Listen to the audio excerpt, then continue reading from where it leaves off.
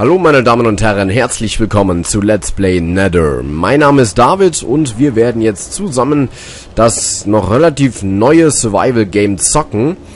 Es ist so ähnlich wie Daisy, also es geht eben in die Richtung Daisy, damit man sich das ein bisschen vorstellen kann, für die, die das Spiel noch nicht kennen. Ich bin momentan alleine, man kann das natürlich auch mit mehreren Leuten zocken, ganz normal wie Daisy auf einem Server. Aber momentan bin ich noch alleine, habe keinen Mitstreiter, aber das wird sich vielleicht noch im Laufe des Projektes ändern. Das kann ich mir sehr gut vorstellen. So, ich habe an dem Charakter jetzt nicht viele geändert. Den Urban Warrior 1 habe ich hier. Habe ihm nur einen schwarzen Pulli verpasst. Das fand ich irgendwie cooler. Und da würde ich sagen, labern wir nicht mehr viel, sondern starten direkt rein. Eins zeige ich noch.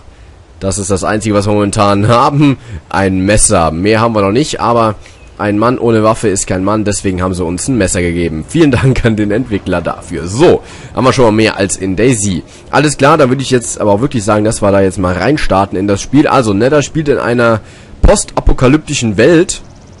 Und keine Sorge, ist am Anfang, wenn ich auf dem Server join, habe ich immer kurz Frame-Einbrüche und danach läuft alles ganz flüssig, wenn die Welt dann mal geladen hat. So, ja, man sieht's hier schon. Ähm, definitiv eine postapokalyptische Welt die extrem geil aussieht, wie ich finde. Die Grafik ist definitiv gut und auch das Level-Design oder das Map-Design ist ziemlich awesome. So, und jetzt gilt es zuerst mal irgendwie Sachen zu finden. Also es kommt jetzt kommt das gleiche bei raus wie bei Daisy. Wir müssen jetzt erstmal Sachen finden. Nicht unbedingt nur Waffen. Die wären natürlich sehr hilfreich. Äh, aber auch Essen und Trinken und so ein Zeugs. Ist ja durchaus von Nützen. So, Inventar ist auf, genau auf I. Gut, nur dass ich das mal weiß. So, äh, das ist blind. Ich bin nur einmal kurz reingejoint, um mir das so ein bisschen anzugucken. Und die Steuerung mal so ein bisschen auszutesten. So kann ich sprinten. Mit äh, C kann ich mich ducken, beziehungsweise sogar hinlegen, glaube ich. Ne, nur ducken. Okay, egal. Ähm, wir suchen jetzt Zeug. Hier müsste doch eigentlich irgendwo was sein, oder? Guck mal, so ein riesiges Lager ist nur Müll. Kann ich den Müllbeutel vielleicht irgendwie aufschneiden? Moment mal. Can fire in a safe zone. Ja, super. Ich wollte auch nur den Müllsack aufschneiden. Und ich wollte auch gar nicht schießen, sondern nur mit dem Messer. Okay, hier ist also Safe Zone. Ah, hier kann ich... Oh, hier kann ich ja was kaufen, oder was? Tatsächlich. Aha. Ja, natürlich. Äh, momentan geht da nichts, weil wir noch gar nichts eingesammelt haben. Ach, sieh mal an, da laufen auch noch andere Kollegas rum. Gut, dass wir in der Safe Zone sind. Sonst werden die mich jetzt vielleicht gleich abschlachten. Also ich bin mal gespannt. Es ist ja schon ein klein bisschen anders als Daisy vom Grundprinzip her selber, aber dann doch ein bisschen anders. Es gibt auch scheinbar wesentlich geilere Monster als in Daisy. Also nicht nur ganz normale Zombies, sondern eben auch wirklich geilere. Teilweise auch gefährlichere als einfach nur Zombies. Aber das macht ja nichts. Ich habe jetzt auch nicht vor, direkt im ersten Part einer Horde Feinde gegenüber zu stehen. Egal, ob das jetzt Monster sind oder gegnerische Spieler. Sollen wir mal in den, in den Untergrund gehen, die U-Bahn? Ob das so intelligent ist, weiß ich nicht. Nur mit dem Messer bewaffnet. Boah, da, da sich direkt der ganze Sound. Kann ich hier so einen Sack aufschneiden? Nee. Gut, also bisher haben wir schon mal nichts gefunden.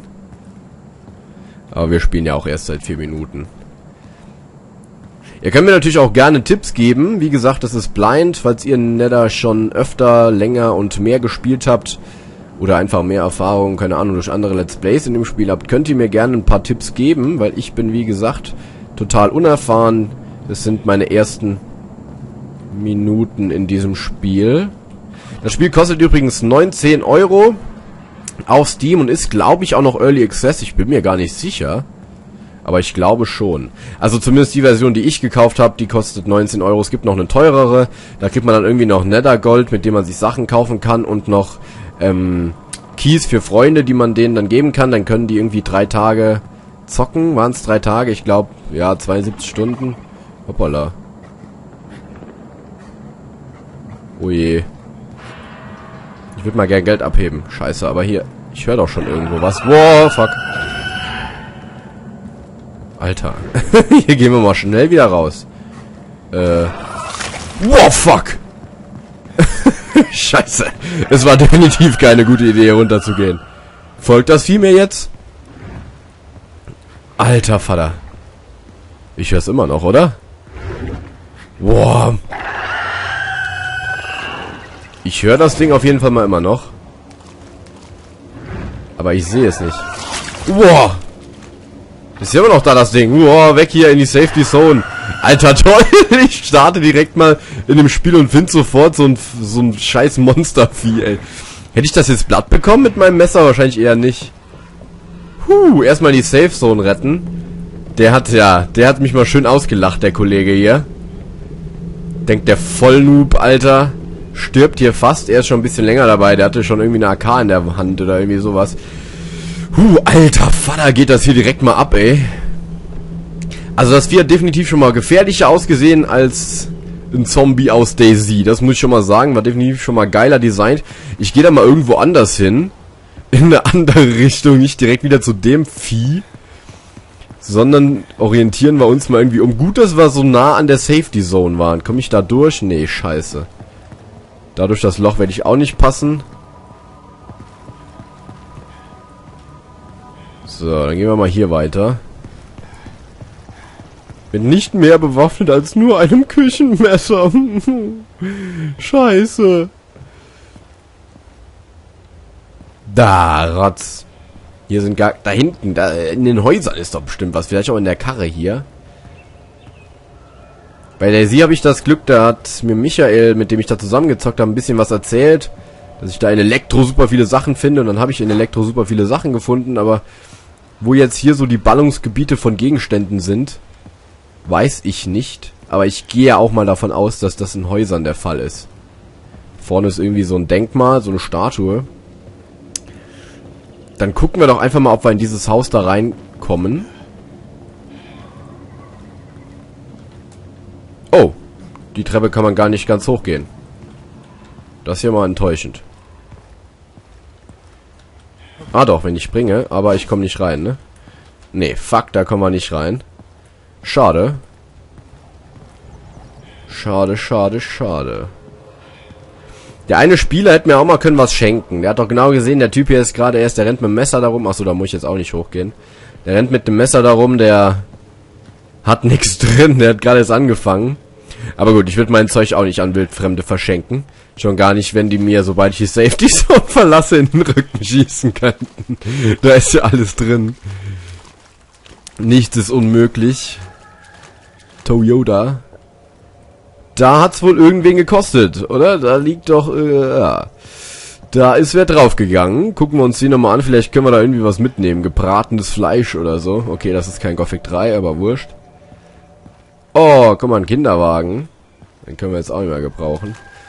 Also wer hier in dieser Welt noch ein Kind bekommt, das dann in dieser Scheißwelt aufwachsen muss, ist auch assi.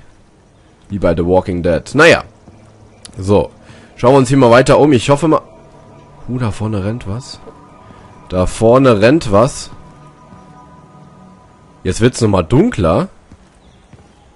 Ist es jetzt einfach, weil es Nacht wird, oder? Ja, wahrscheinlich. Oder ist aber schlecht, dass es Nacht wird. Scheiße. Das ist nicht so schön. Das gefällt mir nicht so gut. Ich würde eigentlich ganz gerne den Charakter hier über mehr als einen Part retten, was das Leben angeht.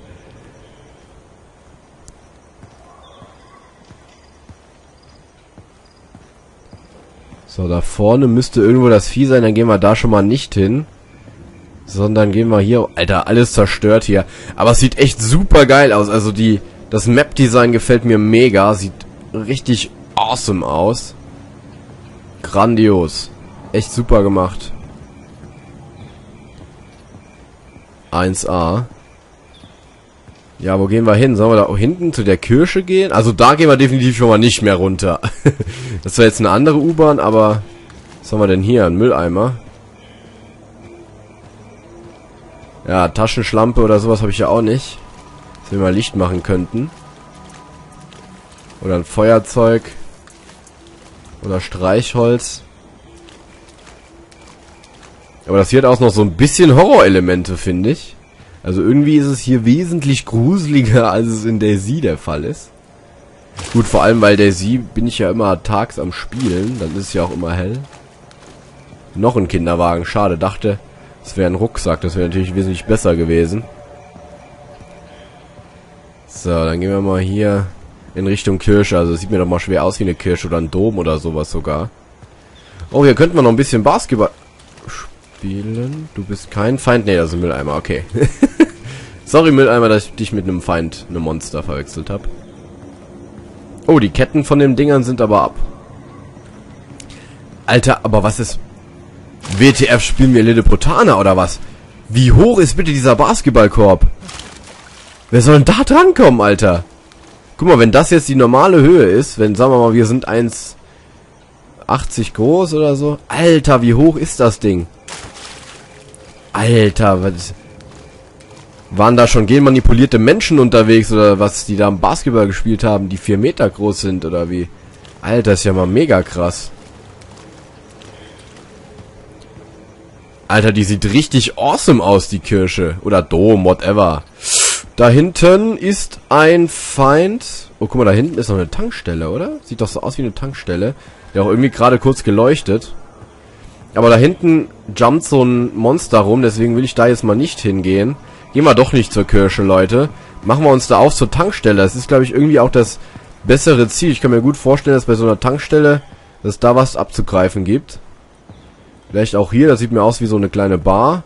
Also, was heißt eine Bar? Also so ein Verkaufsladen. Wie nennt man das? Einen Markt? hier gibt's Zeitschriften, will ich aber nicht. Vertrocknete Kaffeetassen. Ist auch nicht so mein Ding. Was haben wir hier? Oh, und eine Toilette. Ah ja, sehr gut. Aber nicht im Let's Play, nicht wenn ihr zuschaut. Das mache ich dann nachher offscreen. Erledige dann mein Geschäft. Ja, da hinten jumpt's immer noch rum, das Monster. Okay, das kann da scheinbar auch irgendwie nicht weg. Ich glaube, das ist da so ein bisschen gefangen. Und hier geht er jetzt gerade... Ah, guck mal, das ist noch... Da ist wenigstens noch ein bisschen Beleuchtung an. Vielleicht finden wir dann hier irgendwas, aber ich kann mir auch vorstellen, dass diese... Aha! Quick Speed Energy Bar. Ach so, müssen wir gedrückt halten. So, das haben wir jetzt. Das sieht mir doch sehr nach einem... Gibt ja nicht eine Beschreibung? Consume. Okay, das wird wohl äh, ein Energy Regal sein, oder? Wenn ich mich nicht irre. Schätze ich jetzt mal. Energy Bar sollte das auch heißen.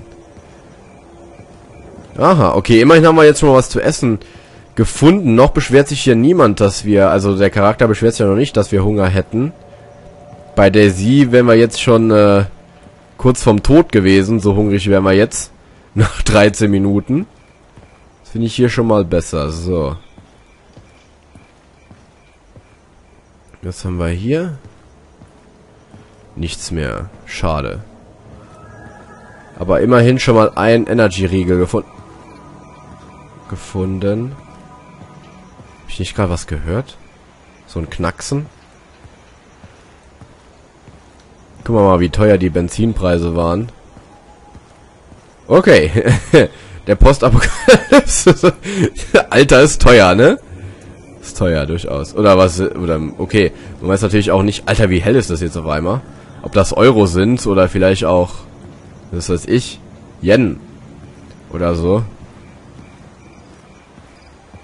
Oder Lampukische Taler oder sowas, keine Ahnung.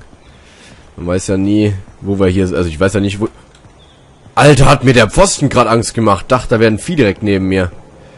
Wir wissen ja nicht, wo wir hier sind. Mal gucken, ob wir da vielleicht reingehen können. Auch nicht. Also scheinbar kann man gar keine Türen öffnen. Ich will den ersten Part jetzt übrigens eine halbe Stunde halten und die restlichen Parts dann eine Viertelstunde. Fuck, fuck, fuck! Fuck, fuck, fuck, da waren zwei Viecher, Alter. Ein Sophie, das da rumgerannt ist und das andere hat sich irgendwie teleportiert. Also das eine, das war das Tele... Wow! Fuck! Wow! Alter! WTF!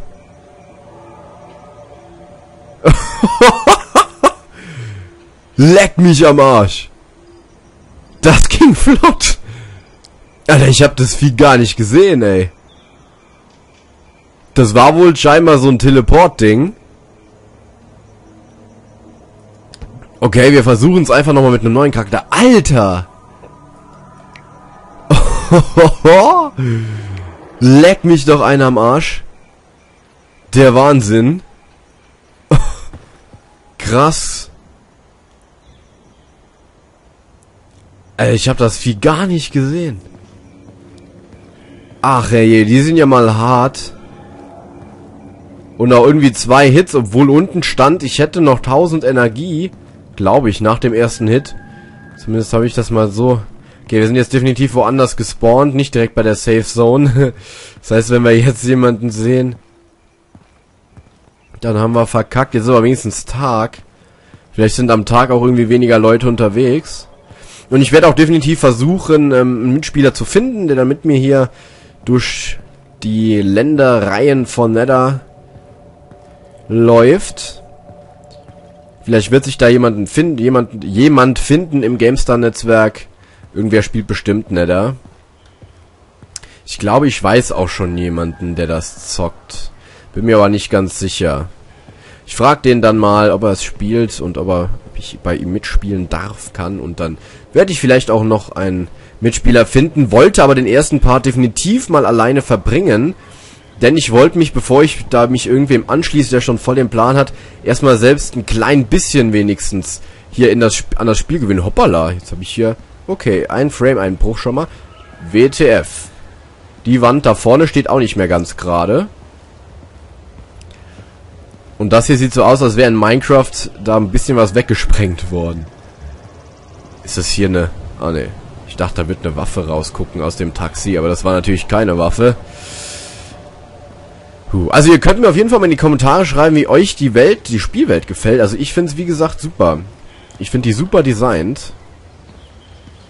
Gefällt mir. gefällt mir. Daumen hoch, Like. So. Ich glaube, hier waren wir schon mal, oder? Bei dieser Heu... Oder? Nee, kann eigentlich nicht sein, weil hier waren wir definitiv nicht. Das, Alter... Wie viele Kindersitze liegen hier rum? Ah, nee, das sind keine Kindersitze, das sind... Tragetaschen. Nee, Tragekörbe. So heißt's. Aber auch in Rot. Gehen wir mal da hinten hin, da ist ja irgendwas, auch wenn ich nicht wirklich weiß, was das darstellen soll, diese Kuppel da oben. Ich mit meinem dummen Gehirn weiß das nicht. Hier liegt nichts. Liegt da vielleicht irgendwas hier auf der Veranda? Nee, auch nicht. Okay, unser alter Charakter hatte einen Powerriegel, das können wir von dem neuen jetzt leider noch nicht sagen. Ach, hier komme ich gar nicht raus. Wie kacke ist das denn? Oder komme ich da irgendwie drüber? Nee, das ist ja mal blöd. Shit, da müssen wir außenrum nochmal laufen. Können eigentlich auch mal gerade sprinten. Man kann zwar nicht unendlich lang sprinten, wie man unten rechts sieht, aber so ein bisschen können wir das ja mal machen, um hier die Zeit so ein bisschen zu verkürzen.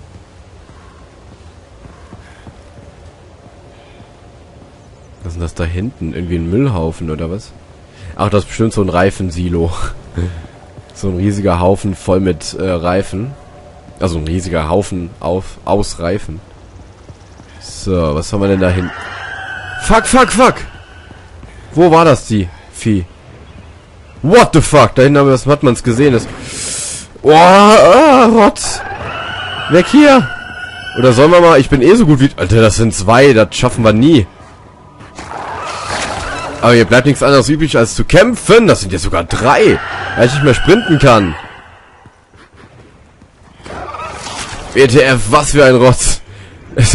Direkt zwei Tode für den ersten Part. Aber die Viecher sehen geil aus, das muss man sagen. Ja, jetzt kann ich wieder sprinten. Und weg hier. Weg hier, einfach nur weg hier. Jetzt fängt das auch noch an zu ruckeln hier, ich glaube es hackt. Oh, wir sind an dem coolen Ding da angekommen. Auch wenn, naja, ich jetzt gar nicht dahin wollte. Ah, die Dinger sind immer noch hinter mir. Und da kann ich schon wieder nicht. Oh, jetzt müssen wir schon wieder nicht sprinten. Jetzt müssen wir hier ewig lang vor denen weglaufen, weil mit dem Küchenmesser kann ich definitiv nichts gegen drei anrichten. Wenn es jetzt einer gewesen wäre, hätte ich gedacht, komm, scheiß drauf. Wir haben eh noch nichts gefunden. Ich probiere es einfach mal. Mal gucken, wie weit man kommt mit so einem Küchenmesser, aber gegen drei Dinger, jetzt ist einer da vorne. Jetzt weiß ich selbst nicht, wo ich hinlaufen soll. Scheiße. Ich glaube, die haben mich irgendwie so ein bisschen umzingelt. Wow, fuck. Fuck, fuck, fuck. Okay, definitiv habe ich jetzt was abgezogen bekommen, also es ist nicht bei 1000 geblieben. 80 Schadenspunkte. What the fuck, was für ein Vieh. Alter, erinnert an Left 4 Dead so ein bisschen. Weg hier, da hinten ist wieder die Kirche. Wow. Keine Chance. Keine Chance, meine Damen und Herren. Scheiße. Fuck. Okay. Also, der erste Part von Nether. Ich würde sagen, an dieser Stelle beende ich es dann doch. Es sind jetzt nur 20 Minuten geworden, aber das macht ja nichts. Ähm, das war jetzt suboptimal. Könnte man auch besser abschließen, sage ich mal, so einen ersten Part. Zweimal gestorben, schade. mal gucken, was mir so im nächsten Part gelingen wird. Und wie gesagt, ich versuche dann irgendeinen Mitspieler zu finden, mit dem ich dann durch die Welt von Nether streifen werde.